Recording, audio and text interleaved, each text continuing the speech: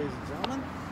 There's my channel. I want to take an opportunity to show you a very special pair of shoes got from eBay. These are Allen Edmonds Berkeley's. You saw them on the pedals of the car. Time to show it to you. In this setting right here. The even shine though. But I saw them. Look a little questionable, but they're the right price. They're $27 about a little bit for shipping, and they're pretty well worth it, you can see. I've been in these all day. You probably wearing them through the night, too. They're a plain toe shoe.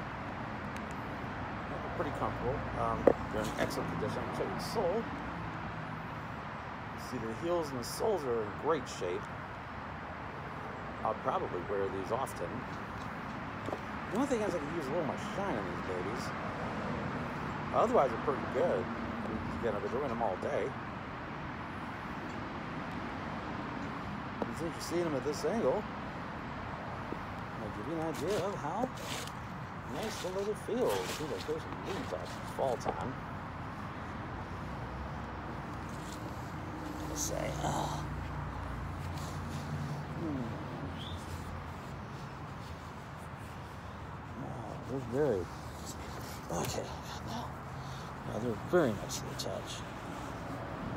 Extremely nice shoes to touch. Leather is absolutely smooth, the calfskin leather. The creases are right in them. I've had them in shoe trees at least. The previous owner didn't put shoe trees in these babes. I have. As I do with all my shoes. That I've been worn for a period of time. But I hope to get a nice nice polish out of these. I hope you'll be able to see a little more of these. Those of you follow me on Flickr, I have a lot of photos of these babies on hand, including what I have on today for Sunday morning and beyond.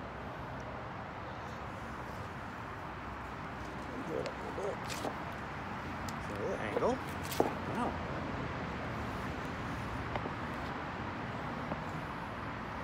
But opportunity to show these off in another angle. Perhaps I should. If you may have followed me on Flickr or Facebook or that, you might be beneficial to show you what I have on today. I can see I have on the shoes. a little bit here. Go down to the pants. You can see I have a gray John White's tweed jacket on, sweater vest. And wearing a bow tie. I tend to like bow ties. It's just felt like the bow tie went really well with what I have.